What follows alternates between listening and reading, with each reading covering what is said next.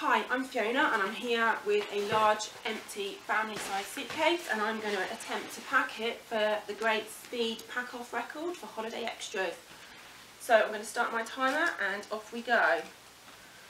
Big box of nappies, wash bag for mummy and the kids, wash bag for daddy full of all our toiletries, hair straighteners, mummy needs them in the fridge in the heat, a couple of buckets for the kids. My top tip is to put these with all your flip flops and shoes those in.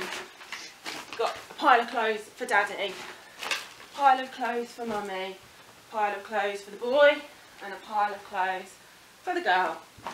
We've got lots of socks here. We've got after sun, sun cream, wipes, so important for ice cream and messy kids. Two spades, of course, for the beach.